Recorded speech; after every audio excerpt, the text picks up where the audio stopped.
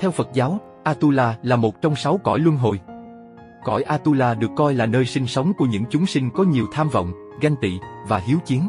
Các tên gọi khác nhau như Atatla, Atola, Atola, Atolak, Atulun đều là Atula, tiếng Phạn là Asura, dịch là vô đoan chính. Atula Nam được miêu tả là những chiến binh mạnh mẽ, hung hãn và hiếu chiến, thường có ngoại hình không đẹp, thể hiện qua khuôn mặt dữ tợn, xấu xí, thân hình to lớn, lực lưỡng, cơ bắp cuồn cuộn nhưng không hài hòa, trông có phần đáng sợ. Biểu cảm và khuôn mặt thường biểu hiện sự tức giận, ganh ghét và hung bạo, đôi mắt lớn và lộ rõ sự thù hằn, đôi khi có nhiều mắt, miệng rộng với răng nanh dài và sắc bén. Thường mặc trang phục chiến đấu, áo giáp hoặc quần áo rách rưới mang theo vũ khí như gươm, giáo, đinh ba hoặc cung tên, thể hiện tính cách hiếu chiến và hung hãn. Họ thường có lòng đố kỵ mạnh mẽ, luôn cố gắng tranh giành quyền lực và phúc lợi. Tính cách nóng nảy và dễ tức giận nên họ dễ bị kích động và thường xuyên tham gia vào các trận chiến, thậm chí với cả các vị thần và chiến đấu cạnh tranh lẫn nhau. Họ luôn muốn có nhiều quyền lực hơn và sẵn sàng làm mọi thứ để đạt được mục tiêu của mình. Mặc dù thường dựa vào sức mạnh, nhưng họ thông minh và xảo quyệt, vì thế họ cũng có khả năng lên kế hoạch và dùng mưu mẹo để đạt được mục đích. Atula nữ thường được miêu tả là rất xinh đẹp, quyến rũ và có vẻ ngoài hấp dẫn, thân hình cân đối, mềm mại nhưng vẫn mạnh mẽ. Họ có khuôn mặt đẹp, thanh tú, biểu hiện sự kiêu sa và cuốn hút với đôi mắt sáng, sắc sảo và lấp lánh, có thể biểu hiện sự hiền từ hoặc xảo quyệt. Atula nữ thường mặc trang phục lộng lẫy, ưa thích màu sắc rực rỡ, đeo nhiều trang sức như vòng cổ, vòng tay, khuyên tai, đôi khi còn có vương miện. Họ ưa thích để tóc dài, suôn mượt và được trang trí bằng nhiều phụ kiện. Giống như Atula Nam, họ cũng có lòng đố kỵ, tính cách mạnh mẽ, quyết đoán và không ngại đối đầu. Atula nữ thường rất trung thành và sẵn sàng bảo vệ gia đình và cộng đồng của mình khỏi mọi nguy hiểm. Xinh đẹp và quyến rũ với vẻ bề ngoài nhưng tính cách mạnh mẽ, quyết đoán và đôi khi rất xảo quyệt. Sự quyến rũ của họ thường được sử dụng để đạt được mục đích và lợi ích riêng. Trong Phật giáo, Atula dù đẹp hay xấu đều thể hiện sự bất an, ganh ghét và đầy tham vọng, dẫn đến sự đau khổ và phiền não, chính là những đặc điểm đặc trưng của cõi Atula trong luân hồi. Nhân duyên nghiệp báo sinh vào cõi Atula Atula là những chúng sinh được sinh ra do kết quả của việc gieo các nhân. Một hạ phẩm thập thiện, đây là những hành động thiện nhưng không hoàn toàn thanh tịnh và vẫn mang tính ganh tị, hiếu thắng. Hai, nóng giận và hiếu chiến, những người thường hay nóng giận, ưa tranh cãi và luôn muốn thắng thua dễ dàng tái sinh vào cõi Atula. Theo kinh nghiệp báo sai biệt, có 10 nghiệp phải chịu quả báo làm Atula. Một thân làm các việc ác nhỏ, những hành động xấu từ thân thể. Hai, miệng làm các việc ác nhỏ, những lời nói không đúng, gây hại. 3. Ý làm các việc ác nhỏ, những suy nghĩ, ý định xấu. 4. Nổi lên kiêu mạn, tự mãn, tự phụ về mình. 5. Nổi lên ngã mạn, tự hào về bản thân, không coi trọng người khác. 6. Nổi lên tăng thượng mạng, kiêu ngạo hơn người, cảm thấy mình vượt trội hơn người khác. 7. Nổi lên mạng lớn, tự mãn, tự hào quá mức. 8. Nổi lên mạng tà, kiêu ngạo dựa trên những hiểu biết sai lầm hoặc tà kiến. 9. Nổi lên mạng quá mạng, kiêu ngạo quá mức, không còn giữ được sự khiêm nhường. 10. Đem các thiện căn hồi hướng về đường Atula, khi những công đức thiện lành được hồi hướng hoặc dùng cho đường Atula. Kinh Chánh Pháp Niệm giải thích rằng sự chịu quả báo làm Atula thường là do ba nguyên nhân chính, sân, mạng và nghi. Những người có sự kiêu ngạo, tự mãn, hoặc nghi ngờ sẽ dễ rơi vào đường Atula. Câu chuyện trong Kinh Tạp A Hàm, một trong các bộ kinh trong Đại Tạng Kinh. Kinh này chứa nhiều bài giảng về nhân quả, nghiệp báo, và những câu chuyện liên quan đến các chúng sinh trong các cõi khác nhau. Nội dung đoạn kinh như sau. Thời kỳ tiền kiếp, một Atula trước đây là một người nghèo sống gần sông. Người này thường phải vác củi qua sông, nhưng nước sông chảy xiết và sâu. Người ấy đã nhiều lần bị nước cuốn đi đến mức suýt chết, nhưng may mắn vẫn thoát được. Một ngày, khi một vị Phật Bích Chi đến nhà người nghèo để khất thực, người này đã vui vẻ cúng dường và khi vị Phật ăn xong đã bay lên trời. Người nghèo khổ thấy vậy bèn phát nguyện rằng, kiếp sau, xin cho thân thể của tôi lớn lao đến mức bất cứ dòng nước nào cũng không ngập quá đầu gối. Nhờ vào nguyện lực này, người nghèo khổ đó đã được tái sinh thành Atula với thân thể rất khổng lồ. Nước bốn biển lớn không còn ngập quá đầu gối của hắn. Atula này đứng trong biển lớn, thân thể vượt lên trên cả núi Tu Di và chống tay vào đỉnh núi, không mình xuống để nhìn trời đau lợi. Ý nghĩa, đoạn kinh này minh họa về cách các nhân duyên và phát nguyện trong quá khứ có thể dẫn đến quả báo trong các kiếp sống sau. Nó cũng phản ánh sự chuyển hóa từ một hoàn cảnh nghèo khổ sang một hình thái sinh tồn khác biệt và khổng lồ trong cõi Atula chứng tỏ sức mạnh của nguyện lực và sự thay đổi trong nghiệp báo. Các bậc của Atula Atula được chia thành bốn bậc, tùy thuộc vào nơi họ sinh sống và đặc điểm của họ. Một Atula ở cõi trời, thiên Atula. Đặc điểm, giống với các vị trời, có quyền năng và phúc báu nhưng vẫn có tính ganh tị và hiếu chiến. Chỗ ở, sống ở các cõi trời nhưng không hoàn toàn thanh tịnh như các vị thần Deva. Hai Atula ở cõi người, nhân Atula. Đặc điểm, giống người, sống trong thế giới con người nhưng thường có tính cách nóng nảy, hiếu chiến. Chỗ ở, sống giữa loài người và thường gây ra tranh chấp, xung đột. 3. Atula ở cõi quỷ, quỷ Atula. Đặc điểm, giống quỷ, mang những đặc điểm hung dữ và đáng sợ. Chỗ ở, sống ở cõi quỷ, thường gây ra nhiều tai họa và phiền não. 4. Atula ở cõi súc sinh, súc sinh Atula. Đặc điểm, giống với các loài súc sinh, có những đặc điểm của động vật nhưng vẫn mang tính hiếu chiến. Chỗ ở, sống trong thế giới của súc sinh, thường gây ra tranh đấu và xung đột với các loài khác. Kinh luận về Atula vì Atula không có chủng loại và nơi ở nhất định, họ có thể xuất hiện ở bất kỳ nơi nào trong các cõi luân hồi. Do đó, trong một số kinh điển, Atula được coi là thuộc về ngũ đạo hoặc ngũ thú, bao gồm thiên đạo, nhân đạo, ngạ quỷ đạo, súc sinh đạo, địa ngục đạo, do là những chúng sinh có tính cách nóng giận, hiếu chiến và ganh tị, dẫn đến cuộc sống đầy rẫy tranh chấp và phiền não. Họ có thể sinh sống ở nhiều nơi khác nhau và mang những đặc điểm của các loài chúng sinh ở cõi đó, nhưng chung quy lại đều thuộc về ngũ đạo hoặc ngũ thú trong luân hồi Phật giáo. Atula ở cõi trời cũng có cung điện thất bảo và sự ăn mặc tự nhiên giống như chư thiên. Thực phẩm, mặc dù họ ăn các món trân vị, nhưng thức ăn thường hóa thành bùn sau khi ăn. Mưa và thời tiết, thay vì mưa hoa hoặc châu báu như ở cõi trời, mưa nước ở cõi người thì ở cõi Atula, mưa xuống là những binh khí và dao gậy. Loại Atula có tâm trạng sân hận và tranh đấu, điều này làm cho họ khó khăn trong việc tu tập theo chánh pháp và giải thoát. Về thân hình và kích thước, theo phẩm Atula Luân trong kinh Tăng Nhất A Hàm Ba, Atula có thân hình cao 84.000 do tuần và miệng rộng mỗi bề 1.000 do tuần. Các kinh điển khác như Kinh Trường A Hàm 20, Phẩm Atulân trong Kinh Đại Lâu tháng 2 và Kinh Khởi Thế Nhân bản năm mô tả sự tích và chỗ ở của Atula, tuy nhiên kích thước và hình dạng có thể thay đổi trong các truyền thuyết khác nhau. Nghiệp nhân và hình tượng Nghiệp nhân, Atula sinh ra từ ba loại nghiệp chính, sân hận, mạng, kiêu mạng và nghi, nghi ngờ. Hình tượng của Atula rất đa dạng. Một số thuyết mô tả Atula với nhiều đầu, tay và các đặc điểm như miệng phun lửa, thân to lớn. Ví dụ, chín đầu, một nghìn mắt, 990 tay, 6 chân và thân to gấp 4 lần núi Tu Di. 1.000 đầu, 2.000 tay, hoặc 10.000 đầu, 20.000 tay, hoặc 3 đầu, 6 tay. Có thể có 3 mặt màu xanh đen, giận dữ, lõa hình và 6 cánh tay. Các miêu tả này có thể khác nhau tùy thuộc vào các truyền thuyết và trường phái Phật giáo cụ thể. Atula, với bản chất sân hận và tranh đấu, thường được mô tả là một loại sinh linh mạnh mẽ nhưng gặp khó khăn trong việc tu tập và đạt giác ngộ. Theo kinh chánh pháp niệm, Atula cư trú ở năm vị trí khác nhau. Một, trên mặt đất, trong núi chúng tướng, nơi có sức lực của loài Atula yếu nhất. Hai, phía bắc núi Tu Di, đi xuống biển khoảng hai vạn một ngàn do tuần, nơi có Atula tên là La Hầu, thống lãnh đám Atula.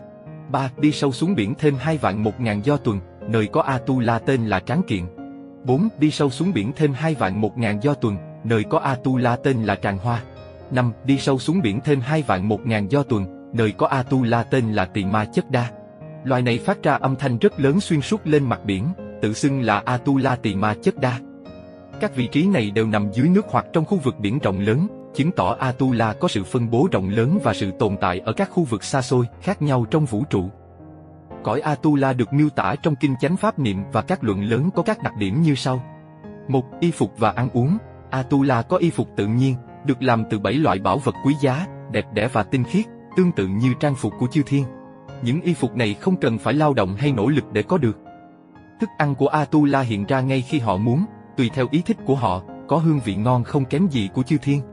Tuy nhiên, có một điểm là khi ăn xong, phần cuối cùng của thức ăn sẽ biến thành bùn xanh. Điều này giống như Long Vương ăn đủ trăm món ngon nhưng miếng cuối cùng lại biến thành cốc nhái.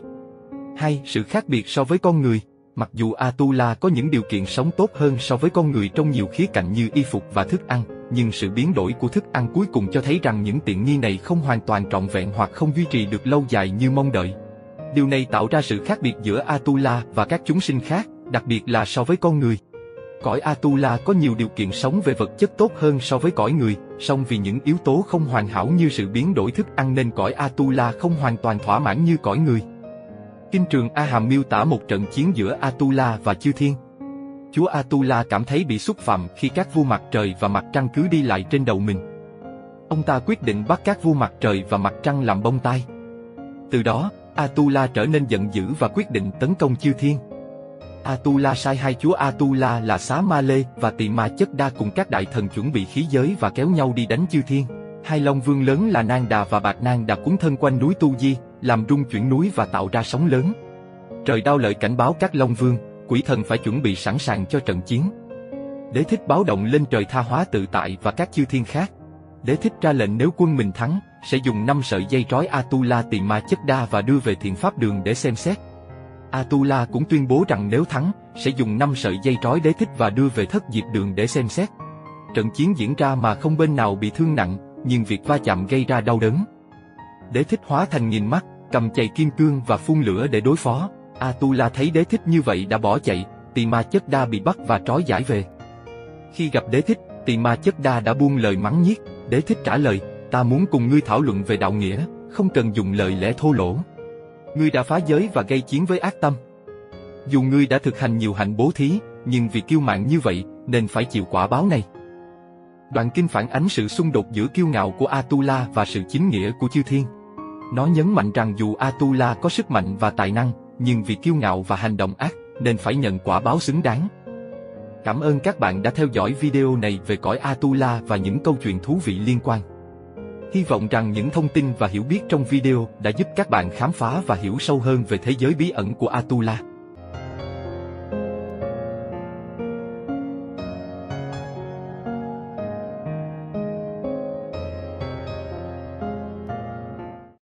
Có ai ở đây là fan của phim tiên hiệp, huyền huyễn không?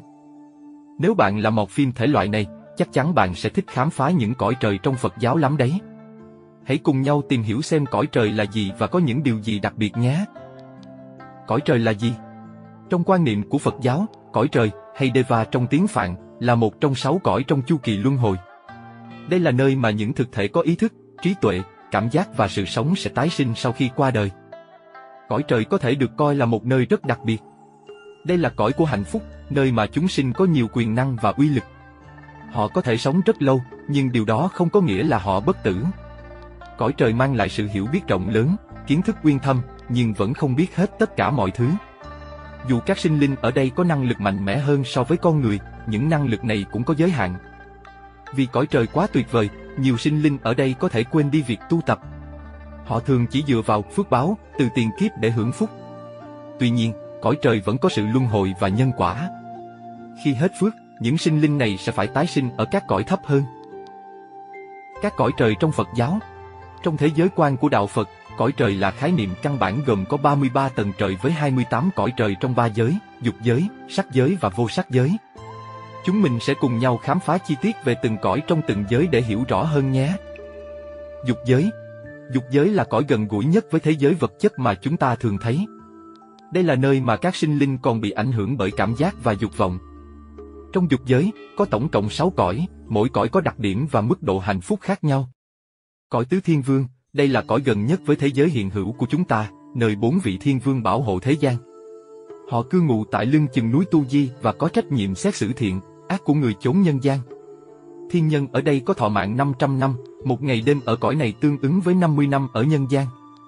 Cõi đao lợi thiên, tam thập tam thiên, có nhiều người nghĩ rằng cõi đao lợi, hay còn gọi là tam thập tam, nằm ở tầng trời thứ 33, theo dịch nghĩa tiếng Trung Hoa. Thực ra, cõi đao lợi nằm ở chính giữa đảnh Tu Di, nơi có địa thế đẹp, rộng 8 vạn do tuần, với thành trì được làm bằng bảy thứ báu. Thiên chủ của cõi này là đế thích, dưới sự hướng dẫn của ngài có 33 vị chư thiên, mỗi người cai quản một thiên sứ và làm việc thiện. Mặc dù cõi này rất quyền năng và đẹp đẽ, đế thích vẫn chưa hoàn toàn đoạn trừ dục tâm, vì vậy ngài không thể chuyển cõi tái sinh. Cõi tu diệm ma, Yama tên gọi Yama có nghĩa là diệt trừ, làm mất đi. Ở cõi trời này, mọi đau khổ và bi ai đều được loại bỏ, chỉ còn lại hạnh phúc và vui sướng. Cõi tu diệm ma không nhận ánh sáng từ mặt trời hay mặt trăng, thiên nhân phân biệt ngày đêm bằng cách theo bông sen nở và hiệp. Thọ mạng của thiên nhân ở đây là một ngàn năm, mỗi ngày đêm ở cõi này tương đương với 100 năm ở nhân thế. Cõi đâu xuất đà, Tisuta đây là cõi chỉ có vui sướng và có thọ mạng rất cao, lên tới 576 triệu tuổi người. Theo tục truyền, vị Bồ Tát Di Lạc hiện đang sống ở đây và chờ cơ hội được tái sinh làm người để trở thành Phật. Cõi hóa lạc thiên, Nimnarati cõi này lơ lửng như mây, rộng khoảng 320 triệu do tuần, nơi mà sự vui sướng có tính biến hóa. chiêu thiên sống trong các lâu đài do chính họ tự tạo ra, và thọ mạng của họ kéo dài đến 2 tỷ 304 triệu tuổi người. Rồi bây giờ, chúng mình hãy cùng nhau tìm hiểu cõi cuối cùng của dục giới nhé. Đó là cõi trời tha hóa tự tại, Paranima cõi này rộng khoảng 640 triệu do tuần, với thọ mạng của thiên nhân lên đến 9 tỷ 216 triệu tuổi người. Sự vui sướng ở cõi này do các cõi khác hóa hiện ra. Đây cũng là cõi cao nhất của dục giới, nơi cư ngụ của thiên ma, nơi mà tất cả mọi sự vui sướng đều do các cõi khác mang đến. Mình rất vui vì chúng ta đã cùng nhau khám phá các cõi trời trong dục giới. Giờ đây, chúng mình sẽ chuyển sang một cõi khác, sắc giới. Đây là cõi trung trong tam giới, nơi mà các vị phạm thiên cư ngụ. Sắc giới không giống như thế giới vật chất chúng ta thường thấy, đây là nơi các chư thiên có hình tướng và vật chất rất đẹp đẽ, vi tế. Họ sống trong thiền định và không bị ảnh hưởng bởi tham dục, sân si. Sắc giới được chia thành bốn bậc dựa trên cấp độ cao, thấp của thiền định. Chúng mình sẽ bắt đầu với các cõi thuộc bậc sơ thiền. Đây là nơi mà các thiên nhân đã vượt qua mọi ham muốn thế gian, chỉ còn lại sự thanh khiết và niềm vui tràn ngập. Cõi sơ thiền Trong cõi sơ thiền, các thiên nhân đã loại bỏ được hết các ham muốn như hỷ, lộ, ái và chỉ còn lại sự thanh khiết và niềm vui. Cõi sơ thiền có ba cõi trời nổi bật. Một cõi phạm chúng, đây là cõi của các vị trời tùy tùng của các vị phạm thiên. Các thiên nhân ở đây hỗ trợ và phục vụ cho những vị thần cao cấp hơn. Dù thọ mạng của họ rất dài và cuộc sống của họ cũng đầy đủ hạnh phúc, nhưng họ vẫn không phải là những vị thần chính của cõi sơ thiên. hay cõi phạm phụ, đây là cõi của các vị trời thân cận hơn với các vị phạm thiên. Họ có thọ mạng dài và sự hạnh phúc cũng ở mức rất cao. Cõi này là nơi các thiên nhân có vị trí quan trọng hơn so với cõi phạm chúng. 3. Cõi đại phạm, đây là cõi của các vị phạm thiên chính thức, nơi mà sự hạnh phúc và thọ mạng của các thiên nhân đạt đến mức cao nhất trong cõi sơ thiền. Các thiên nhân ở đây có một cuộc sống đầy đủ và viên mãn hơn bất kỳ cõi nào khác trong bậc sơ thiền. Chúng mình đã tìm hiểu qua về cõi sơ thiền. Giờ thì hãy cùng nhau tiếp tục tìm hiểu các cõi trong bậc nhị thiền, tam thiền và tứ thiền nhen. Đây là những cõi có sự thanh tịnh và ánh sáng đặc biệt, phản ánh sự phát triển cao hơn trong thiền định. Cõi nhị thiền Ở bậc nhị thiền, tất cả các ý niệm thầm kín trong tâm của các vị phạm thiên đã hoàn toàn biến mất. Cõi này được biết đến với sự khử dục, đoạn ái, và vì vậy, ánh sáng ở đây rất rực rỡ và thuần khiết. Trong cõi nhị thiền, có ba cõi chính. Một cõi thiểu quan, đây là nơi mà các vị phạm thiên có ánh sáng nhẹ nhàng. Dù ánh sáng không mạnh mẽ, nhưng vẫn tạo ra một môi trường thanh tịnh và dễ chịu. Hai, cõi vô lượng quan. Tại đây, các vị phạm thiên có ánh sáng vô cùng rộng lớn và mạnh mẽ. Ánh sáng này bao phủ mọi thứ, tạo ra một không gian sáng sủa và thanh khiết. 3. Cõi quan âm, đây là cõi mà ánh sáng rực rỡ và chói lóa nhất. Các vị phạm thiên ở đây sống trong ánh sáng rực rỡ, phản chiếu sự tinh khiết và sự hiểu biết cao nhất của họ. Cõi tam thiên Cõi tam thiên là nơi mà cả thân và tâm của các vị phạm thiên đều hoàn toàn giống nhau, mọi sự đều đạt đến mức độ thanh tịnh tuyệt đối. Trong cõi tam thiên có ba cõi nổi bật. Một cõi thiểu tịnh, đây là cõi có hào quang nhỏ, tạo nên một không gian thanh tịnh nhưng không quá nổi bật. Hai cõi vô lượng tịnh, ở cõi này, hào quang là vô hạn, tạo ra một môi trường thanh tịnh rộng lớn và thuần khiết. Ba cõi biến tịnh, đây là cõi có hào quang không bị sao động, phản ánh sự tĩnh lặng và ổn định tuyệt đối. Cõi tứ thiên, cuối cùng, cõi tứ thiền là cõi cao nhất của sắc giới, nơi các sinh linh sống trong cảnh giới thiền định sâu xa và hoàn toàn thanh tịnh. Tại đây, năm thức cảm giác và ý thức đều không còn hoạt động nữa. Trong cõi tứ thiền, có chín cõi chính. Một cõi vô vân, cảnh giới quan đẳng và không có mây mù, tạo ra một không gian rộng lớn và rõ ràng. Hai cõi phước sinh, đây là cõi của sự trường cửu, nơi mà phước báo không ngừng nghỉ và trường tồn. Ba cõi quản quả, cõi này là nơi các vị phạm thiên hưởng phước báo rộng lớn và vô biên. Bốn cõi vô phiền, ở cõi này, mọi sự hoàn toàn tinh khiết và không còn bất kỳ phiền não nào. Năm cõi vô nhiệt, đây là cõi thanh tịnh hoàn toàn, không còn sự nóng nảy hay nhiệt huyết. 6. Cõi thiện kiến, cảnh giới đẹp đẽ và thanh tịnh, phản ánh sự cao quý và thiện lành. 7. Cõi thiện hiện, ở đây, các vị phạm thiên hoàn toàn tự tại và sống trong sự tự do tuyệt đối. 8. Cõi sắc cứu cánh, cõi này đạt đến cảnh giới tối thượng trong sắc giới, nơi mà sự hoàn thiện đạt đến đỉnh cao. 9. Cõi vô tưởng, đây là cõi cao nhất trong tứ thiền, nơi không còn tư tưởng, mọi sự hoàn toàn tĩnh lặng. Vô sắc giới, Arupa datu cảnh giới cao nhất trong tam giới. Chúng ta đã khám phá những cõi trời kỳ bí trong sắc giới, giờ đây hãy cùng mình bước vào thế giới cao nhất trong tam giới theo quan niệm của Phật giáo, vô sắc giới. Vô sắc giới là cảnh giới cao nhất trong tam giới, nơi không có sắc quẩn, tức là không có vật chất hay hình thể. Điều này có nghĩa là ở đây không phân chia nam nữ, không có dục vọng, chỉ còn lại các yếu tố tinh tế hơn như thọ, tưởng, hành và thuần nghiệp thức, tất cả đều trú trong các cảnh giới thiền định thâm diệu. Vô sắc giới không có sắc pháp biểu hiện và được chia thành bốn bậc dựa trên phần dị thuộc sanh sai, mỗi bậc có những đặc điểm riêng biệt. Có thể bạn sẽ thắc mắc, phần dị thuộc sanh sai là gì? Nên mình giải thích ngay đây. Thực ra, trong Phật giáo, dị thuộc sanh sai đề cập đến sự phân chia các cảnh giới theo mức độ phát triển và tu tập của chúng sinh. Đây là một khái niệm dùng để phân loại các cảnh giới dựa trên độ sâu của thiền định và sự thanh tịnh của tâm. Vô sắc giới được chia thành bốn bậc chính dựa trên mức độ thâm sâu của thiền định mà các vị chư thiên ở đó đã đạt được. Một, không vô biên xứ thiên, ở cõi này, các vị chư thiên chỉ thấy không gian vô biên, không nhìn thấy thân lượng của các chư thiên khác vì họ đã đạt được và an trú trong trạng thái thiền định thâm diệu. Họ có thọ mạng lên tới 20.000 đại kiếp. Hai, thức vô biên xứ thiên, ở cõi trời này, các vị chư thiên chỉ thấy tâm thức vô biên, không có hình tướng, và họ sống trong một trạng thái thiền định sâu sắc. Tuổi thọ của các chư thiên ở đây lên tới 40.000 đại kiếp. 3. Vô sở hữu xứ thiên, cõi trời này không còn bất kỳ hiện tượng gì, các chư thiên đã đạt được trạng thái thiền định hoàn toàn, không còn cảm giác hay hình tướng.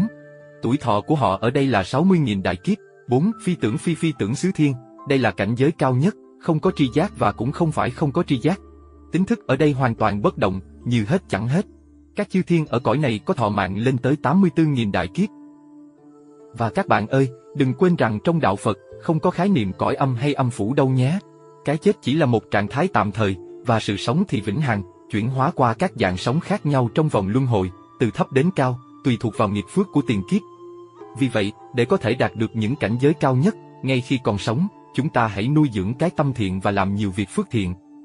Điều này sẽ giúp chúng ta có cơ hội tái sinh ở các cõi trời và tận hưởng hạnh phúc vĩnh hằng khi rời khỏi cõi đời này. Mong rằng các thông tin mà mình chia sẻ đã giúp ích cho bạn trong việc hiểu thêm về những cõi trời và cảnh giới trong Phật giáo.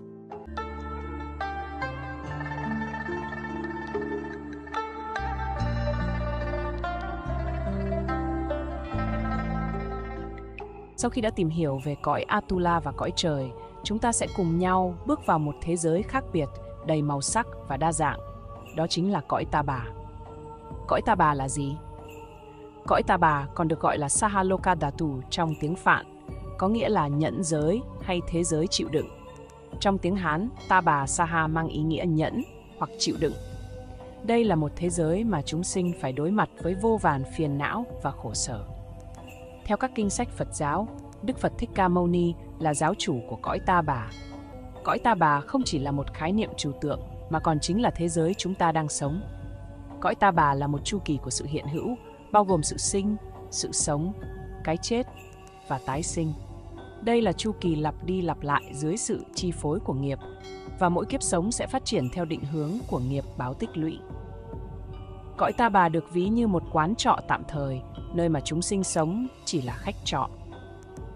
Tất cả những gì chúng sinh trải qua trong cuộc đời này đều tạm bợ và vô thường, giống như một sân khấu nơi mọi thứ chỉ tồn tại trong một thời gian ngắn và sẽ biến mất khi màn sân khấu hạ xuống.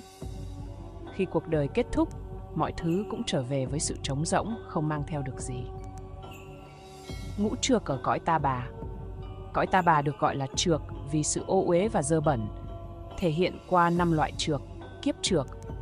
Đây là cõi đời mà chúng sinh dễ bị ô nhiễm bởi những yếu tố xấu xa như chiến tranh, thiên tai và dịch bệnh.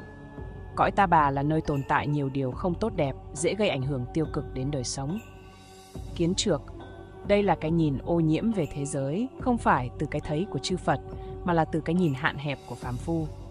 Những cái thấy này tạo ra sự so đo, phiền não và định kiến, dẫn đến những nỗi khổ. Chúng sinh trược, chúng sinh ở cõi ta bà thường mang những tính xấu như ghen ghét, sân si và đố kỵ. Từ thân cho đến tâm đều không sạch, khiến cho cuộc sống trở nên ô nhiễm và khó khăn. Mạng trược, ngày xưa thọ mạng của con người rất dài, nhưng với sự gia tăng của những tính xấu và nghiệp ác, tuổi thọ ngày càng giảm sút. Mạng trược phản ánh sự ô nhiễm trong cuộc sống và sự suy giảm của thọ mạng. Phiền não trược Phiền não ở cõi ta bà là do tâm không thanh tịnh, đầy sân si, tham lam và ái dục. Những phiền não này tạo ra khổ đau cho chính bản thân và làm cho cuộc sống trở nên khó khăn. Tám nỗi khổ đau ở cõi ta bà Theo quan niệm Phật giáo, cuộc đời thường được ví như một bể khổ. Nhưng điều này không có nghĩa là Phật giáo chỉ tập trung vào sự đau khổ mà bỏ qua những điều tốt đẹp trong cuộc sống. Thực tế, Phật giáo chỉ ra bản chất của những nỗi khổ này nhằm giúp con người nhận thức và vượt qua chúng một cách tích cực. Việc hiểu biết về những nỗi khổ này chính là bước đầu tiên giúp chúng ta tìm ra cách để giảm bớt đau khổ và tìm thấy bình an trong cuộc sống ngắn ngủi và vô thường này. Sinh khổ Khi một sinh linh bắt đầu cuộc sống mới, nỗi khổ đầu tiên mà họ phải trải qua là sinh khổ. Mỗi lần một đứa trẻ chào đời, người mẹ phải chịu đựng nỗi đau đớn không thể tưởng tượng nổi. Ở Trung Quốc xưa, ngày sinh nhật được gọi là mẫu nan nhật, ngày mẹ khổ, phản ánh sự hy sinh của mẹ trong quá trình sinh nở. Sinh khổ không chỉ là nỗi đau mà mẹ phải chịu đựng để mang chúng ta đến với cuộc đời, mà còn nhắc nhở chúng ta về sự biết ơn đối với mẹ. Nỗi khổ này là một phần tất yếu của sự sống và giúp chúng ta nhận thức sâu sắc về giá trị của cuộc đời và sự hy sinh của mẹ. Lão khổ Khi đã có mặt trên cõi đời này, mỗi người đều phải đối mặt với sự lão hóa, sự thay đổi về thể chất và tâm lý theo thời gian, từ việc tóc bạc, da nhăn cho đến những cơn đau nhức là dấu hiệu của lão khổ. Đôi khi, ngay cả những người có tâm hồn an nhiên, không lo lắng, cũng phải đối mặt với sự lão hóa. Trong khi đó, những người mang nhiều phiền muộn có thể cảm thấy mình già đi nhanh chóng. Việc chấp nhận sự lão hóa và sống một cách lạc quan, bỏ qua những lo âu sẽ giúp chúng ta giảm bớt nỗi khổ này. Lão khổ dạy chúng ta về sự tạm bợ của mọi thứ và khuyến khích chúng ta sống trong hiện tại một cách trọn vẹn. Bệnh khổ Đã sinh ra, ai cũng phải đối mặt với bệnh tật. Phật giáo phân loại bệnh thành ba loại, thân bệnh, tâm bệnh và nghiệp bệnh. Thân bệnh bao gồm mọi vấn đề về thể chất, từ những vết thương nhỏ đến bệnh hiểm nghèo như ung thư. Tâm bệnh liên quan đến sức khỏe tâm lý như stress, trầm cảm, mà ngày nay ngày càng phổ biến do áp lực xã hội. Nghiệp bệnh là những bệnh tật không thể chữa trị bằng y học, do nghiệp từ kiếp trước gây ra. Bệnh khổ là một phần của cuộc sống, nhắc nhở chúng ta về sự tạm bỡ và không thể kiểm soát được của sức khỏe. Đồng thời, khuyến khích chúng ta tìm cách sống một cuộc sống hài hòa và tích cực. Tử khổ, cái chết là điều không thể tránh khỏi trong cuộc đời, và nó chính là tử khổ. Dù chúng ta có thành đạt và giàu có đến đâu, khi cuộc sống kết thúc, chúng ta cũng không thể mang theo bất kỳ tài sản nào. Tử khổ phản ánh sự vô thường và sự thật về sự sống và cái chết. Nó nhắc nhở chúng ta rằng mọi thứ trên đời đều tạm bợ và khuyến khích chúng ta sống một cuộc đời có ý nghĩa, không chỉ tập trung vào vật chất mà còn vào những giá trị tinh thần và đạo đức. Cầu bất đắc khổ Mong muốn và nhu cầu không được đáp ứng sẽ tạo ra cầu bất đắc khổ. Chúng ta luôn có những ước mơ và mong mỏi trong cuộc sống, từ những điều nhỏ nhặt đến những mục tiêu lớn lao. Khi những mong muốn này không thành hiện thực, chúng ta sẽ cảm thấy thất vọng và đau khổ. Nỗi khổ này nhắc nhở chúng ta về sự không chắc chắn của cuộc sống và khuyến khích chúng ta học cách chấp nhận và điều chỉnh kỳ vọng của mình để giảm bớt nỗi đau. Ái biệt ly khổ Ái biệt ly khổ là nỗi đau khi phải chia xa với những thứ mà chúng ta yêu thích. Không chỉ là con người mà còn là những vật dụng hay động vật mà chúng ta gắn bó. Nỗi khổ này chia thành hai loại, khổ sinh ly và khổ tử biệt. Khổ sinh ly là nỗi đau khi phải xa rời những người thân yêu trong một thời gian dài, như khi phải rời xa gia đình để đi chiến đấu trong thời kỳ chiến tranh. Khổ tử biệt là nỗi đau sâu sắc hơn khi chúng ta phải chia tay với những người thân yêu mãi mãi không còn cơ hội gặp lại. Điều này nhắc nhở chúng ta về sự tạm bỡ của mọi thứ và khuyến khích chúng ta trân trọng từng khoảnh khắc và mối quan hệ trong cuộc sống. Oán tắng hội khổ Oán tắng hội khổ là nỗi đau khi phải tiếp xúc và sống chung với những người mà chúng ta không ưa hoặc những kẻ thù. Điều này không chỉ làm tăng thêm căng thẳng và xung đột trong cuộc sống, mà còn khiến chúng ta cảm thấy bất an và không hạnh phúc sự tiếp xúc với những kẻ thù có thể dẫn đến sự tức giận và thù hận, làm cho cuộc sống thêm phần khó khăn và đau khổ. Ngũ ấm thạnh khổ, ngũ là sự khổ về năm ấm hưng thạnh. Năm ấm là sắc, thọ, tưởng, hành, thức. Sắc ấm thuộc về thân, bốn ấm kia thuộc về tâm. Như vậy, ở đây nói về sự khổ của thân và tâm. Ngũ ấm này hợp lại tạo nên thân con người. Nếu không điều hòa với nhau, thường hưng thịnh thì phát sanh khổ não. Lại nữa, Ngũ ấm tạo nên thân con người, mà thân con người phải trải qua quá trình sanh, già, bệnh, chết, đương nhiên luôn phải chịu nhiều khổ não. Ngũ ấm thạnh khổ này bao quát 7 loại khổ trước. Thân thì sanh, già, bệnh, chết, đói, khát, nóng, lạnh, vất vả, nhọc nhằn. Tâm thì buồn, giận, lo, thương, trăm điều phiền lụy. Những nỗi khổ đau mà chúng ta gặp phải trong cõi ta bà không chỉ là những thử thách mà còn là những cơ hội quý giá để trưởng thành và phát triển. Qua mỗi thử thách, chúng ta học được cách chấp nhận, yêu thương và phát triển trí tuệ. Phật giáo không chỉ chỉ ra những nỗi khổ mà còn cung cấp cho chúng ta những công cụ để vượt qua chúng, giúp chúng ta nhận thức sâu sắc về bản chất của cuộc sống và khuyến khích chúng ta sống một cách trọn vẹn và ý nghĩa. Hãy nhớ rằng, mỗi nỗi khổ là một bước trên con đường tìm kiếm bình nội tâm và trí tuệ. Chúng ta có thể biến những khổ đau thành những bài học quý giá giúp chúng ta trưởng thành và sống một cuộc đời đầy ý nghĩa và hạnh phúc.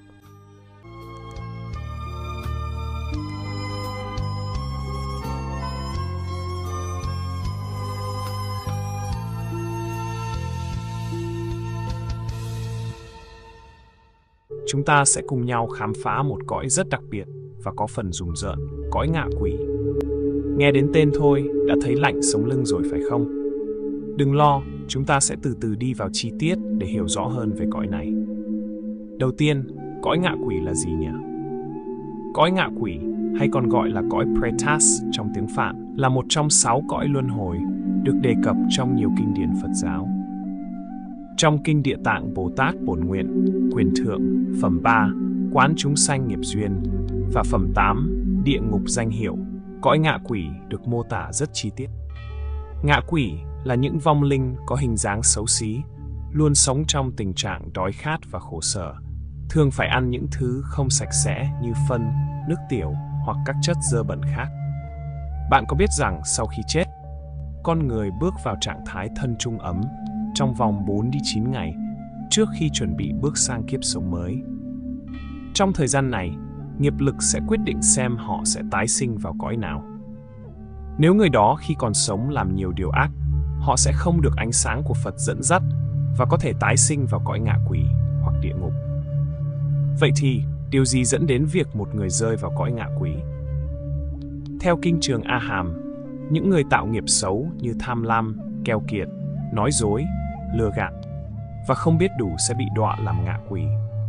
Cụ thể, những người không chia sẻ của cải, lợi dụng người khác để trục lợi cho bản thân, hoặc những người luôn ganh tị với sự thành công của người khác sẽ phải chịu quả báo khổ sở trong cõi ngạ quỷ. Câu chuyện về bà Thanh Đề, mẹ của Mục Kiền Liên, một trong những đệ tử lớn của Đức Phật, là một ví dụ sống động. Bà Thanh Đề khi còn sống rất tham lam và keo kiệt, không biết chia sẻ và giúp đỡ người khác. Sau khi bà qua đời, nghiệp lực xấu đã khiến bà bị đọa vào cõi ngạ quỷ, phải chịu đựng sự đói khát và khổ sở. Mục Kiền Liên đã dùng thần thông để tìm mẹ và chứng kiến cảnh bà bị đói khát, không thể ăn uống. Để cứu mẹ, Mục Kiền Liên đã làm lễ Vu Lan, cúng dường Tam Bảo và hồi hướng công đức để giải thoát bà khỏi kiếp ngạ quỷ. Ngạ quỷ thường sống ở hai nơi chính, cõi Diêm La và cõi Ta Bà. Ở dương gian, chúng thường sống ở các bãi rác, hoang mạc hoặc những nơi ô uế. Điều này hoàn toàn phụ thuộc vào nghiệp quá khứ của họ.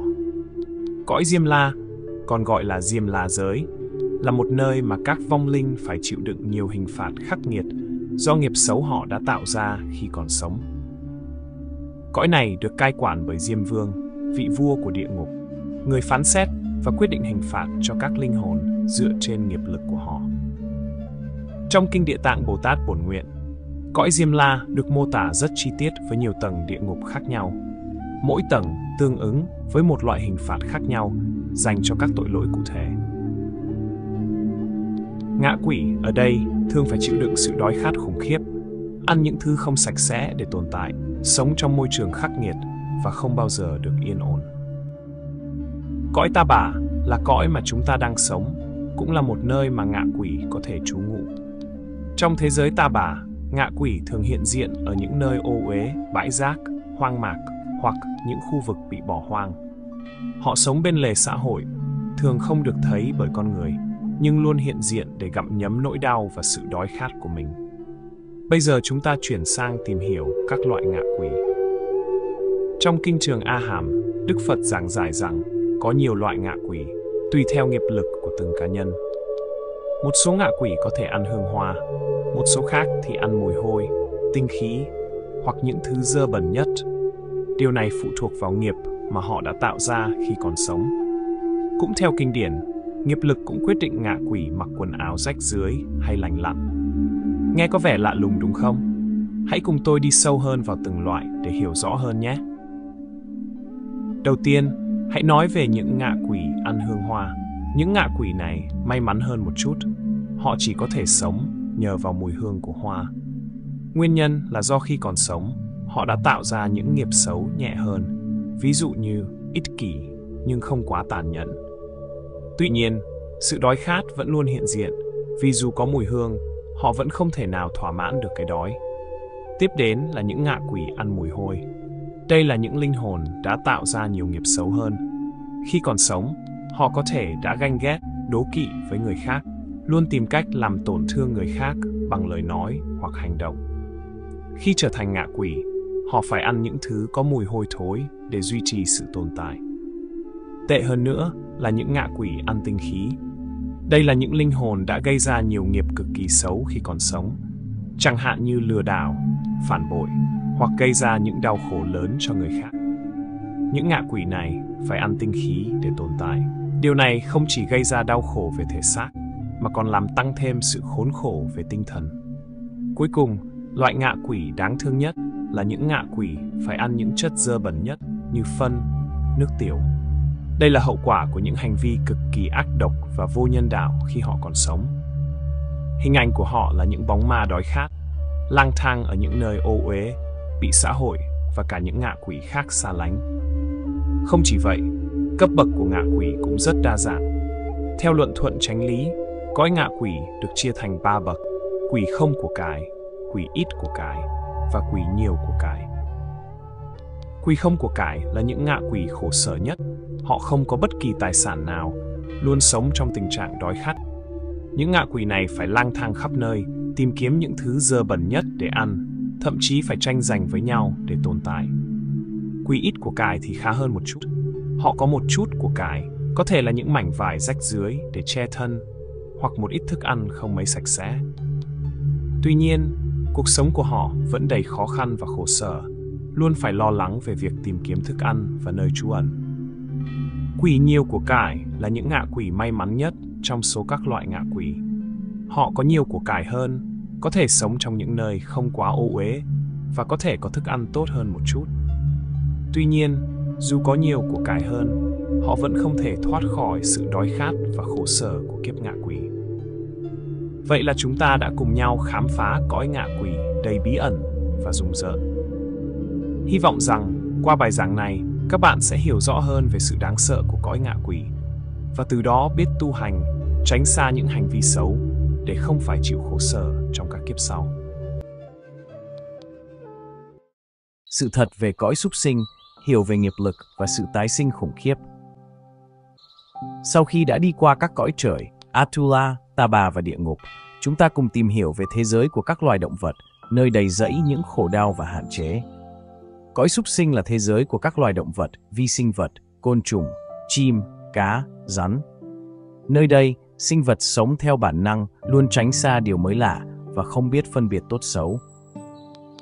Cuộc sống ở cõi súc sinh được đặc trưng bởi ba đặc điểm cơ bản: thiếu trí tuệ, thiếu tự do và thiếu hạnh phúc. Đầu tiên là thiếu trí tuệ. Những sinh vật ở cõi này không thể suy nghĩ và hành động một cách độc lập. Hãy tưởng tượng một con chó có thể ngồi, nằm, đi, đứng nhưng không hiểu được ý nghĩa của các hành động đó. Nó chỉ biết tuân theo mệnh lệnh hoặc hành động theo bản năng mà không có sự suy xét. Ví dụ khác, một con chim biết bay từ cành này sang cành khác để tìm thức ăn, nhưng nó không hiểu được tại sao phải làm vậy, chỉ làm theo bản năng sinh tồn. Tiếp đến là thiếu tự do. Loài sinh vật ở cõi này bị ràng buộc bởi bản năng và môi trường sống, không có sự tự do lựa chọn. Hãy nghĩ đến một con hổ, nó phải săn mồi để sống, không thể chọn ăn rau quả hay loại thức ăn khác. Điều này cho thấy sự ràng buộc và giới hạn trong cuộc sống của chúng. Hoặc như một con cá sống trong nước, nó không thể rời khỏi môi trường nước để khám phá thế giới bên ngoài. Cuối cùng là thiếu hạnh phúc. Những sinh vật này phải chịu đựng đau khổ, bị săn bắt, ăn thịt trong môi trường khắc nghiệt.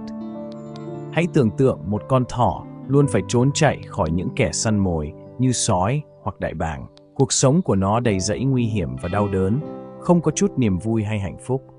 Hay một con chuột luôn phải tìm cách tránh bẫy và thuốc diệt chuột, sống trong lo sợ và căng thẳng. Trong cõi súc sinh có những nỗi khổ đau vô cùng tận.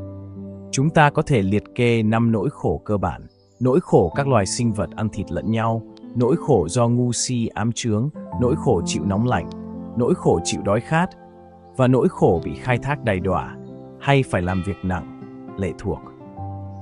Hãy tưởng tượng một con trâu bò phải ra sức kéo cày trong những ngày mưa gió, rét mướt. Khi nó hết sức lao động, nó sẽ bị đưa đi giết mổ mà không biết rằng mình sắp bị chết. Còn đối với các con vật thú cưng thì sao? Nghe có vẻ mâu thuẫn, nhưng hãy ngẫm sâu một chút nhé. Đúng là khi chúng ta nghĩ về những con thú cưng như chó, mèo được chăm sóc cẩn thận, sống trong điều kiện tốt, ăn ngon, ngủ ấm, có vẻ như chúng không hề khổ đau. Hãy cùng nhau suy ngẫm sâu hơn một chút. Thú cưng được chúng ta yêu thương và chăm sóc kỹ lưỡng, đúng là chúng có thể cảm thấy hạnh phúc trong môi trường đó. Tuy nhiên, xét từ góc nhìn của Phật giáo, cõi súc sinh vẫn là cõi khổ đau bởi vì các loài vật, dù có được sống sung sướng hay không, vẫn phải đối mặt với những giới hạn cơ bản và không thể tự mình thoát khỏi những ràng buộc đó. Chúng ta hãy cùng nhau đi sâu vào chi tiết để hiểu rõ hơn. Thiếu trí tuệ Thú cưng dù được chăm sóc tốt nhưng vẫn không thể suy nghĩ và hành động độc lập như con người. Chúng không hiểu được ý nghĩa sâu xa của cuộc sống và không có khả năng tự phát triển trí tuệ. Một chú chó có thể vui mừng khi được chơi đùa, nhưng nó không hiểu được tại sao mình phải ở trong nhà, không biết gì về thế giới bên ngoài, ngoài những gì chúng ta cho phép nó biết. Thiếu tự do, thú cưng bị giới hạn bởi môi trường sống và sự chăm sóc của chủ nhân. Một chú mèo được nuôi trong nhà có thể không phải lo lắng về thức ăn hay chỗ ngủ, nhưng nó cũng không thể tự do đi lại, săn mồi hay làm những gì nó muốn. Chúng ta yêu thương chúng, nhưng cũng đồng thời kiểm soát hoàn toàn cuộc sống của chúng. Thiếu hạnh phúc Dù được chăm sóc tốt, thú cưng vẫn phải đối mặt với những khó khăn và đau khổ của riêng chúng. Chúng có thể bị bệnh, bị thương hoặc cảm thấy cô đơn khi không có ai ở bên. Một con chó có thể cảm thấy buồn bã khi chủ đi vắng hoặc lo lắng khi bị bỏ lại một mình. Nguy cơ bị đối xử tệ Không phải con thú cưng nào cũng may mắn có được người chủ yêu thương và chăm sóc. Nhiều loài vật bị bỏ rơi, bị ngược đãi hoặc sống trong điều kiện tồi tệ. Chúng phải chịu đựng nỗi đau thể xác và tinh thần, không có ai bảo vệ và chăm sóc. Bị ràng buộc vào nghiệp lực Thú cưng vẫn là sinh vật trong cõi súc sinh bị ràng buộc vào nghiệp lực và không thể thoát khỏi vòng luân hồi. Dù chúng có được sống sung sướng trong kiếp này, nhưng nếu không có cơ hội phát triển trí tuệ và tu hành, chúng vẫn phải tái sinh trong các cõi khổ đau khác trong tương lai. Chúng ta có thể thấy rằng, cõi súc sinh, dù có vẻ như không quá khổ đau với những thú cưng được chăm sóc tốt, vẫn là một cõi đầy những hạn chế và khổ đau cơ bản. Việc hiểu rõ về những khổ đau này giúp chúng ta thêm lòng từ bi và trách nhiệm đối với tất cả các loài sinh vật trong cõi súc sinh. Phật giáo mô tả chân thực và chi tiết về sự tồn tại của cõi súc sinh phù hợp với thuyết 12 nhân duyên và 6 nẻo luân hồi. Những sinh vật ở cõi này sống trong sự vô minh, thành kiến và tự mãn. Chúng không biết cách thoát ra khỏi vòng luân hồi đau khổ này.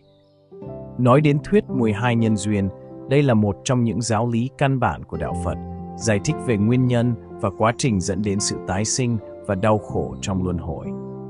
Nói ngắn gọn, 12 nhân duyên bao gồm những yếu tố như vô minh, không hiểu biết, hành động có chủ ý, nghiệp, ý thức và các yếu tố khác liên quan đến giác quan, cảm thọ và ham muốn.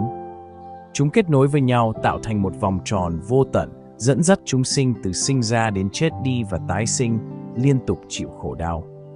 Chúng ta đã hiểu sơ lược về thuyết 12 nhân duyên và cách nó giải thích về quá trình tạo nghiệp và tái sinh. Vậy, những hành động nào dẫn vào cõi súc sinh nơi đầy khổ đau và tăm tối này? Trước tiên là giết hại động vật. Đây là tội nặng nhất trong Phật giáo. Hành động này phá vỡ quy luật nhân quả và tạo ra nghiệp xấu. Hãy hình dung một người liên tục giết hại các sinh linh, mỗi lần như thế là một hạt giống nghiệp xấu được gieo vào tâm hồn họ. Khi chết đi, nghiệp xấu này sẽ đẩy họ vào cõi súc sinh, có thể tái sinh thành một con vật để trả nợ sinh mạng.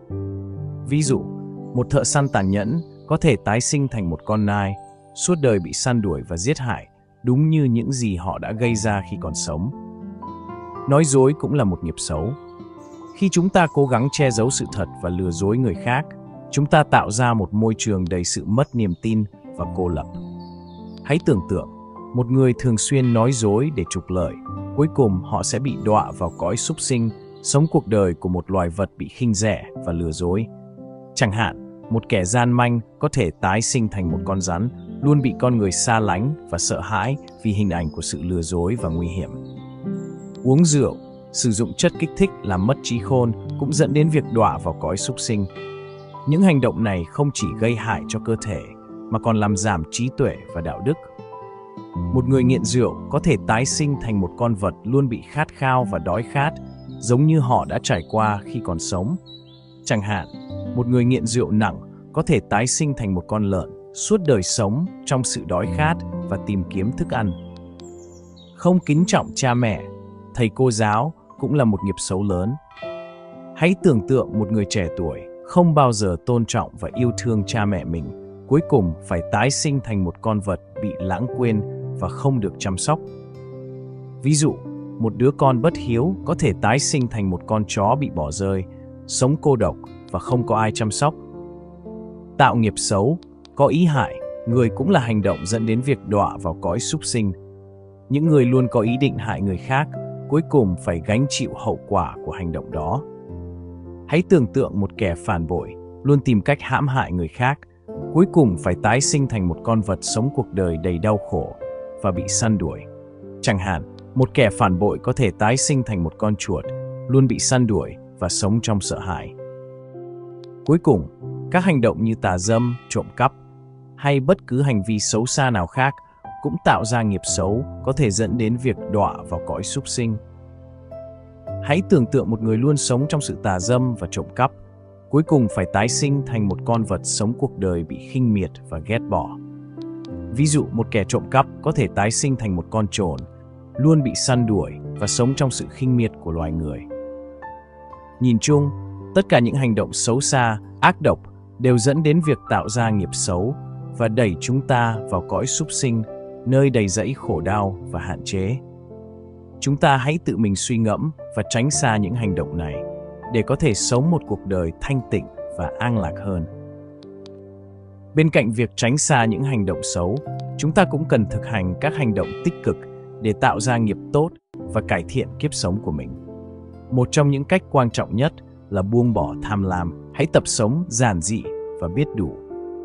Điều này giúp chúng ta tránh được những phiền muộn và đau khổ do tham lam gây ra. Một người biết đủ và sống đơn giản sẽ không tạo ra nghiệp xấu từ tham lam và có thể tái sinh trong những cõi an lạc và hạnh phúc hơn. Ví dụ, một nhà từ thiện luôn giúp đỡ người khác và không màng đến lợi ích cá nhân sẽ được hưởng phước báo và có thể tái sinh trong những cõi tốt đẹp hơn. Ngoài ra, một số cách để tích lũy nghiệp tốt và cải thiện kiếp sống của chúng ta trong tương lai bao gồm một Từ bi và lòng nhân ái Hãy yêu thương và chăm sóc các loài vật, coi chúng như người bạn đồng hành trong cuộc sống. Hành động này giúp chúng ta phát triển lòng từ bi và tạo ra nghiệp tốt. 2. Thiền định và chánh niệm Thực hành thiền định và chánh niệm giúp chúng ta thanh lọc tâm hồn và giảm bớt những suy nghĩ tiêu cực, từ đó tránh được nghiệp xấu và tạo ra nghiệp tốt. 3. Hành động thiện nguyện Tham gia các hoạt động từ thiện và giúp đỡ người khác, đặc biệt là các loài vật bị bỏ rơi hoặc bị ngược đãi. Điều này không chỉ giúp chúng ta tạo ra nghiệp tốt, mà còn lan tỏa lòng từ bi và tình yêu thương. Môn học hỏi và thực hành giáo lý Phật giáo, hiểu và áp dụng các giáo lý Phật giáo vào cuộc sống hàng ngày, giúp chúng ta sống đúng với đạo lý và tránh được những hành động gây nghiệp xấu. Hãy khuyến khích chính mình và người thân thực hành những điều này để tạo ra nghiệp tốt và cải thiện kiếp sống của chúng ta trong tương lai. Qua đó, chúng ta không chỉ tránh được những khổ đau trong cõi súc sinh mà còn tiến gần hơn đến sự giải thoát và giác ngộ. Thế giới cõi súc sinh không chỉ là một sự tồn tại đau khổ mà còn là một bài học quý giá về sự vô thường và nghiệp lực. Chúng ta hãy cùng nhau nâng cao lòng từ bi, giảm thiểu nghiệp xấu và sống một cuộc đời có ý nghĩa hơn, không chỉ cho bản thân mà còn cho tất cả các loài sinh vật trong vũ trụ này. Hãy cùng nhau thực hành những điều tốt đẹp để tạo ra nghiệp tốt và tiến gần hơn đến sự giải thoát và giác ngộ.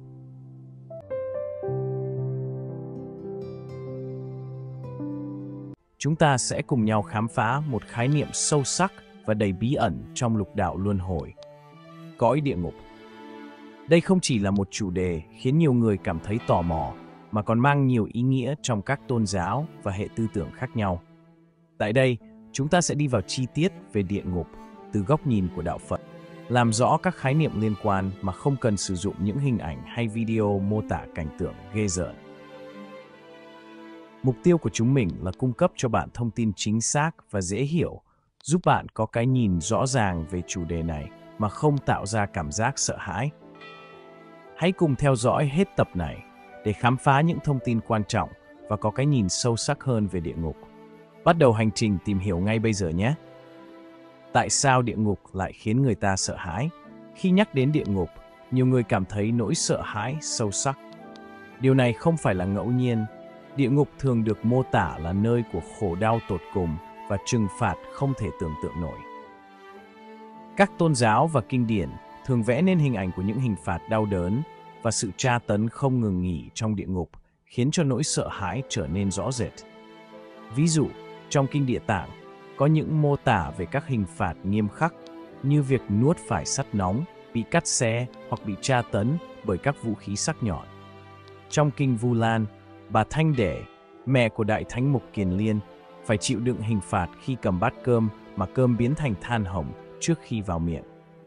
Những hình ảnh này minh họa sự khắc nghiệt và nỗi đau đớn mà chúng sinh phải gánh chịu trong địa ngục, làm gia tăng nỗi sợ hãi của chúng ta. Những mô tả về những hình phạt này không chỉ là những yếu tố mạnh mẽ khiến chúng ta cảm thấy bất an và lo lắng, mà còn là những cảnh báo về việc hành động xấu và nghiệp ác có thể dẫn đến những hậu quả nghiêm trọng. Địa ngục trong đạo Phật, quan điểm khác biệt. Trong đạo Phật, khái niệm về địa ngục không giống như trong nhiều tôn giáo khác. Thay vì tin vào một ông Diêm Vương hay những quỷ thần quyết định số phận của chúng sinh, Phật giáo giải thích địa ngục dựa trên quy luật nhân quả. Theo đạo Phật, mỗi hành động của chúng ta tạo ra những hạt giống thiện hoặc ác. Những hạt giống này không chỉ là những hành động cụ thể mà còn là những ý nghĩ, lời nói và cảm xúc. Tất cả những hạt giống này được lưu trữ trong một phần của tâm thức gọi là tàng thức, a lại ra thức. Khi đủ duyên, những hạt giống này sẽ nảy nở và mang lại kết quả tương ứng. Đó có thể là những trải nghiệm trong cuộc sống hiện tại hoặc trong những kiếp sống tương lai. Ví dụ, nếu một người thường xuyên hành động với lòng từ bi và sự chân thành, những hạt giống thiện này sẽ tạo ra những kết quả tốt đẹp trong tương lai, giúp họ tái sinh vào những cảnh giới tốt đẹp hơn. Ngược lại, nếu một người thường xuyên hành động với sự sân hận và tham lam, những hạt giống ác này sẽ dẫn đến những kết quả đau khổ, có thể là trong cảnh giới địa ngục.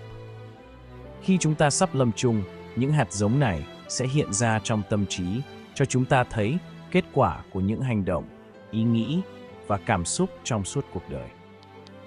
Một số người đã trải qua cận tử nghiệp cho biết rằng họ nhìn thấy toàn bộ cuộc đời của mình từ những hành động tốt đẹp đến những hành động xấu xa. Đây là thời điểm mà họ có thể nhận thức rõ nhất về nghiệp quả của mình. Địa ngục và thiên đường trong đạo Phật Trong đạo Phật, không có khái niệm về địa ngục hay thiên đường vĩnh viễn như trong nhiều tôn giáo khác. Thay vào đó, địa ngục và thiên đường được hiểu như là những trạng thái tâm thức mà mỗi người trải qua hàng ngày. Nếu một người không thể kiểm soát tham lam, sân hận và si mê, tâm hồn của họ sẽ không được an lạc và sẽ sống trong phiền não. Điều này có thể được coi là một dạng địa ngục tâm thức. Ví dụ, khi một người luôn sống trong sự tức giận và oán hận, họ sẽ cảm thấy như bị hành hạ tinh thần dù không phải ở một nơi cụ thể nào cả. Kinh Địa Tạng Sutra of Sitigarbha đề cập đến nhiều cảnh giới địa ngục. Nhưng từ quan điểm của đạo Phật, những cảnh giới này cũng có thể được coi là những trạng thái tâm thức. Trong Kinh Địa Tạng, các hình ảnh như việc người bị đầy đọa trong ngọn lửa hay bị tra tấn không chỉ là mô tả của những hình phạt vật lý, mà còn là những phản ánh của sự đau khổ tinh thần do nghiệp ác gây ra. Tâm địa, hay còn gọi là địa tạng, có thể trở nên thanh tịnh hoặc ô nhiễm tùy thuộc vào nghiệp thiện hoặc ác của con người. Khi chúng ta lâm chung, thần thức của chúng ta sẽ được đưa vào cảnh giới tương ứng với những nghiệp quả của mình. Để hiểu rõ hơn về địa ngục và các khái niệm liên quan, bạn có thể đọc hoặc nghe Kinh Địa Tạng. Kinh này không chỉ cung cấp cái nhìn sâu sắc về các cảnh giới địa ngục, mà còn hướng dẫn chúng ta cách sống thiện lành để tránh xa những cảnh giới đau khổ. Sự sợ hãi và giải thoát Sự sợ hãi là một cảm giác rất tự nhiên mà chúng ta ai cũng phải trải qua. Cũng giống như vui vẻ hay buồn bã, sợ hãi có thể xuất hiện từ những nỗi lo lắng nhỏ bé như sợ bị mất đồ đạc đến những nỗi sợ lớn hơn như mất mát người thân hay cái chết. Theo tư tưởng của Krishnamurti, nỗi sợ hãi chủ yếu xuất phát từ những suy nghĩ về quá khứ và tương lai. Chúng ta thường lo lắng về những gì đã xảy ra hoặc những gì sẽ xảy ra, và điều này tạo ra cảm giác sợ hãi trong hiện tại. Trong đạo Phật, để vượt qua sự sợ hãi, chúng ta cần phải làm sạch tâm trí mình. Khi tâm của chúng ta thanh tịnh, không còn bị chi phối bởi những tham lam, sân hận và si mê, chúng ta sẽ thấy mọi thứ rõ ràng hơn. Ví dụ, khi bạn không còn sợ hãi về tương lai, bạn có thể đối diện với mọi thử thách một cách bình tĩnh và tự tin hơn. Đạo Phật khuyến khích chúng ta tự học và tự tu tập để đạt được sự bình an trong tâm hồn. Khi bạn tự giác ngộ được những nguyên lý của đạo Phật, bạn sẽ có khả năng thoát khỏi sự sợ hãi và đạt được sự an lạc thực sự. Địa ngục là một trong sáu cảnh giới trong cõi dục. Trong đạo Phật, địa ngục là một trong sáu cảnh giới mà linh hồn có thể tái sinh vào, tùy thuộc vào nghiệp lực của mình. Sáu cảnh giới này bao gồm cõi trời, cõi Atula, cõi người, cõi súc sinh, cõi ngạ quỷ và cõi địa ngục. Khi chúng ta chết, linh hồn sẽ trải qua một giai đoạn gọi là thân trung ấm. Đây là thời điểm mà linh hồn không có hình dạng cụ thể, nhưng vẫn có thể cảm nhận và nhận thức. Trong giai đoạn này, linh hồn có thể cảm thấy được ảnh hưởng từ những nghiệp lực mà mình đã tích lũy khi còn sống. Ví dụ, nếu bạn đã sống một cuộc đời với nhiều hành động thiện, giúp đỡ người khác và giữ tâm thiện lành, bạn có thể tái sinh vào những cảnh giới tốt đẹp hơn. Ngược lại, nếu bạn đã có nhiều hành động xấu với tâm sân hận và tham lam, bạn có thể phải đối mặt với những cảnh giới đau khổ như địa ngục. Địa ngục không phải là nơi mà tất cả chúng sinh sẽ vào, mà chỉ là một khả năng nếu nghiệp xấu chi phối. Điều quan trọng là chúng ta cần sống sao cho tích cực và thiện lành để có thể hướng tới những cảnh giới tốt đẹp hơn trong tương lai. Địa ngục, sự thực hay chỉ là biểu tượng? Việc xác định sự tồn tại của địa ngục có thể không dễ dàng vì chúng ta không thể thấy địa ngục bằng mắt thường. Tuy nhiên, theo giáo lý Phật giáo, địa ngục không chỉ là một khái niệm trừu tượng mà là một thực tại cụ thể. Các kinh điển Phật giáo mô tả địa ngục một cách rõ ràng, cho thấy đây không phải chỉ là một biểu tượng mà là một thực thể có thể hiện hữu theo quy luật nhân quả. Kinh trường A Hàm mô tả địa ngục nằm giữa hai dãy núi lớn, gọi là núi Đại Kim Cương thứ nhất và thứ hai, và được bao bọc bởi một biển lớn. Điều này gợi ý rằng địa ngục nằm ở một khu vực cách biệt với các cảnh giới khác và có thể là một nơi tách biệt trong không gian tâm linh. Luận lập Thế A Tỳ Đàm cho biết rằng địa ngục nằm ngoài núi Thiết Vi, nằm ở khu vực phía nam. Đây là một vị trí cụ thể trong hệ thống các cảnh giới, tuy không phải là vị trí địa lý thực tế, mà là một cách phân chia không gian tâm linh theo quan điểm Phật giáo. Luận Đại Tỳ Bà Sa cung cấp các hình thức cụ thể của địa ngục, chẳng hạn như cô địa ngục và biên địa ngục. Trong cô địa ngục, các chúng sinh phải chịu đựng hình phạt đau đớn như nuốt phải sắt nóng. Trong khi ở biên địa ngục, họ bị hành hạ bởi những hình thức tra tấn khác nhau. Các hình phạt này không chỉ là những mô tả cụ thể về đau khổ mà còn phản ánh sự tác động của nghiệp ác mà chúng sinh đã gây ra trong cuộc đời trước. Việc mô tả địa ngục một cách chi tiết trong các kinh điển, những hành động ác sẽ dẫn đến những hậu quả tương xứng. Những hình ảnh khắc nghiệt này không phải để gây sợ hãi, mà là để nhấn mạnh tầm quan trọng của việc sống thiện lành và tránh xa những hành vi xấu. Nguyên nhân đưa con người đến địa ngục Trong các kinh điển Phật giáo, nguyên nhân dẫn đến địa ngục không chỉ đơn thuần là kết quả của những hành động ác, mà còn là một quá trình phức tạp, phản ánh sâu sắc quy luật nhân quả và nghiệp lực. Một ví dụ điển hình về nguyên nhân đưa con người đến địa ngục được ghi lại trong Kinh Vu Lan. Câu chuyện kể rằng, bà Thanh Đề, mẹ của Đại Thánh Mục Kiền Liên, đã phải đọa vào địa ngục do những hành động ác trong quá khứ của bà. Bà Thanh Đề không chỉ gây khổ đau cho người khác mà còn cho tất cả chúng sinh khác, từ loài người đến loài súc sinh. Bà đã thực hiện những hành động tàn bạo và hủy hoại và đã tạo ra các lời nguyền tà ác. Trong địa ngục, bà phải chịu đựng những hình phạt khủng khiếp như việc cầm bát cơm thì cơm biến thành than hồng trước khi vào miệng, khiến bà không thể ăn được gì. Đây là một hình ảnh sâu sắc về sự trừng phạt trong địa ngục, phản ánh sự nghiêm khắc của luật nhân quả. Câu chuyện của bà Thanh Đề không phải là một trường hợp duy nhất. Trong Kinh Địa Tạng, chúng ta cũng gặp những ví dụ về những sinh linh bị đọa vào địa ngục do hành động gây khổ đau cho chúng sinh khác. Những hành động này có thể là bạo lực, gian lận, lừa dối hoặc bất kỳ hành động nào gây tổn thương đến sự sống và sự an lạc của chúng sinh. Những hành động này không chỉ gây tổn hại cho những chúng sinh khác trong hiện tại, mà còn tạo ra nghiệp xấu sẽ dẫn đến những hình phạt trong cõi địa ngục. Kinh Đại Tỳ Bà Sa cũng mô tả nhiều loại địa ngục khác nhau, mỗi loại tương ứng với những hình phạt khác nhau cho những hành động ác. Ví dụ, cô địa ngục là nơi các chúng sinh phải chịu đựng sự tra tấn đau đớn và thường xuyên bị hành hạ. Những hình phạt này không phải là do một đấng tối cao quyết định, mà là kết quả trực tiếp của nghiệp lực mà mỗi chúng sinh đã tích lũy trong quá khứ. Sự trừng phạt trong địa ngục không chỉ là một hình thức trả giá, mà còn là cơ hội để chúng sinh nhận ra hậu quả của hành động của mình và học hỏi từ những sai lầm. Chính vì vậy, việc sống một đời sống thiện lành và tránh xa các hành động ác là rất quan trọng để không rơi vào cảnh giới đau khổ này. Quy tắc của luật nhân quả Khi nhắc đến địa ngục, nhiều người có thể tưởng tượng đó là một nơi được điều hành bởi một đấng tối cao hay một thực thể quyền lực nào đó. Tuy nhiên, theo giáo lý Phật giáo, điều này không hoàn toàn chính xác. Trong Phật giáo, việc một chúng sinh có phải vào địa ngục hay không hoàn toàn không phải do một đấng tối cao quyết định, mà là kết quả trực tiếp từ những hành động của chính mình. Hãy tưởng tượng cõi dục như một đại dương rộng lớn với sáu hòn đảo, mỗi hòn đảo đại diện cho một cảnh giới khác nhau mà chúng ta có thể tái sinh vào. Sáu cảnh giới này bao gồm cõi trời, cõi Atula, những sinh linh hiếu chiến, cõi người, cõi súc sinh, cõi ngạ quỷ, những sinh linh đói khát, và cuối cùng là cõi địa ngục, nơi được coi là tồi tệ nhất trong số các cảnh giới.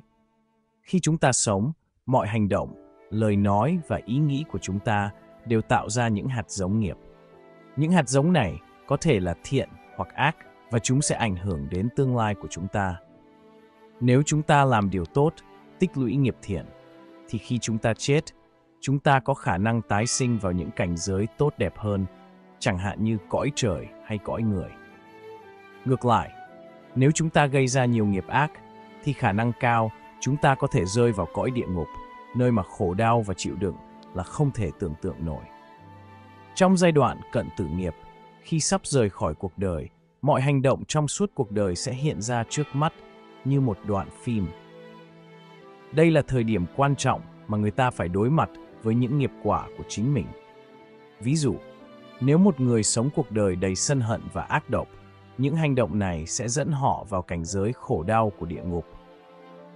Như vậy, địa ngục không phải là một sự trừng phạt đến từ bên ngoài, mà là hệ quả tự nhiên của những hành động chúng ta đã tạo ra trong suốt cuộc đời. Luật nhân quả không phải là một hình phạt đến từ một nguồn gốc xa lạ, mà là sự phản ánh chân thực những gì chúng ta đã gieo trồng.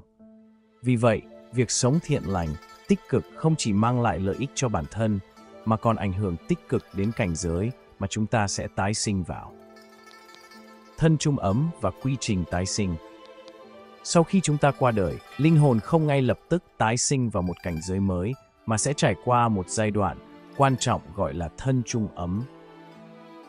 Đây là một thời kỳ chuyển tiếp, nơi linh hồn không còn mang hình tướng cụ thể như khi còn sống, nhưng vẫn có khả năng nhận thức và cảm nhận.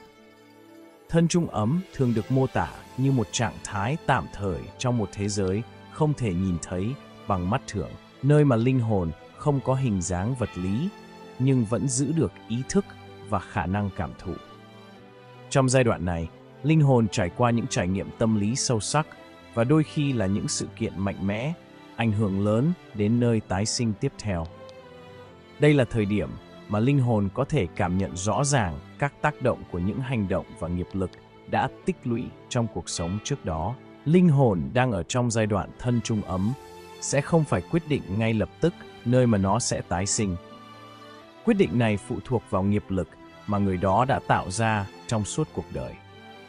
Nghiệp lực chính là những kết quả từ hành động, lời nói và suy nghĩ của chúng ta được tích lũy và ảnh hưởng đến sự tái sinh của linh hồn. Nếu một người đã sống cuộc đời với nhiều hành động xấu và ác, những nghiệp xấu này sẽ dẫn dắt linh hồn vào những cảnh giới khổ đau như địa ngục. Đây là nơi mà những nghiệp xấu và ác đã tích tụ sẽ mang lại quả báo khủng khiếp, khiến linh hồn phải chịu đựng sự tra tấn và khổ sở. Ngược lại, đối với những người đã tu hành, sống thiện lành và tích lũy nhiều nghiệp thiện, họ có khả năng cao để tái sinh vào những cảnh giới tốt đẹp hơn. Những linh hồn này có thể được sinh vào cõi trời, nơi tận hưởng hạnh phúc và sự an lạc, hoặc tịnh độ của chư Phật, một trạng thái lý tưởng giúp họ tiếp tục tu học và hướng đến giác ngộ. Trong giai đoạn này, những hình ảnh, cảm xúc và những ký ức về cuộc sống trước đó sẽ hiện ra rõ ràng. Đây là cơ hội để linh hồn nhận ra những nghiệp quả của mình và chuẩn bị cho một sự tái sinh mới. Vì vậy, việc làm những hành động tốt, giữ tâm trí thanh tịnh và sống một cuộc đời đầy ý nghĩa là rất quan trọng, không chỉ cho hiện tại mà còn cho tương lai của linh hồn sau khi qua đời. Làm thế nào để tránh đọa lạc hay tái sinh vào cõi địa ngục? Khi nghĩ về địa ngục, hình ảnh đau đớn và khổ sở thường hiện lên trong tâm trí. Nhưng làm thế nào để chúng ta tránh được cảnh giới này và tái sinh vào một cõi tốt đẹp hơn? Đây là câu hỏi mà nhiều người băn khoăn. Hãy cùng khám phá một cách dễ hiểu và thực tế. Hãy tưởng tượng cuộc đời của bạn như một cuốn sách. Mỗi hành động, lời nói và ý nghĩ đều là những trang viết nên câu chuyện của bạn. Nếu bạn thường xuyên viết những trang đầy yêu thương, lòng từ bi và sự giúp đỡ, thì cuốn sách của bạn sẽ có nhiều trang đẹp đẽ và tươi sáng. Ngược lại, nếu những trang sách của bạn tràn ngập sân hận, gian dối và đau khổ, thì câu chuyện của bạn có thể trở nên tối tăm và đau đớn. Để viết nên câu chuyện đẹp, bạn cần chăm sóc và viết những trang tốt nhất có thể. Trong đạo Phật, điều này có nghĩa là sống một cuộc đời thiện lành. Điều đầu tiên và quan trọng nhất là tránh xa những hành động ác. Hãy nhớ rằng, những việc làm như lừa dối, tàn nhẫn hay ganh ghét đều có thể tạo ra những hạt giống nghiệp xấu, dẫn đến hậu quả không mong muốn. Chúng ta có thể làm điều tốt để bù đắp cho những hạt giống nghiệp xấu. Cúng dường, làm việc thiện và tu tập các giáo lý Phật giáo là những cách để tích lũy nghiệp thiện. Hãy nghĩ đến những việc làm như giúp đỡ người khác, từ thiện, hay đơn giản là giữ tâm từ bi và trí tuệ trong mọi hành động hàng ngày. Những việc này như việc viết thêm những trang đẹp vào cuốn sách cuộc đời của bạn. Một ví dụ đơn giản, nếu bạn thấy ai đó cần giúp đỡ và bạn quyết định giúp đỡ họ mà không mong đợi điều gì đổi lại, bạn đang viết một trang đẹp trong cuốn sách cuộc đời của mình. Điều này không chỉ làm cho câu chuyện của bạn trở nên tốt đẹp hơn, mà còn tạo ra một dòng chảy tích cực cho tương lai. Khi chúng ta gần đến giờ phút cuối của cuộc đời, giai đoạn cận tử nghiệp sẽ diễn ra. Trong giai đoạn này, tất cả những hành động và cảm xúc của chúng ta trong suốt cuộc đời sẽ hiện ra như một đoạn phim. Nếu cuốn sách của bạn chứa đầy những trang đẹp đẽ, thì khi lâm chung, bạn sẽ dễ dàng tiến vào những cảnh giới tốt đẹp hơn. Hy vọng qua tập này, các bạn có thêm kiến thức và thông tin về cõi địa ngục.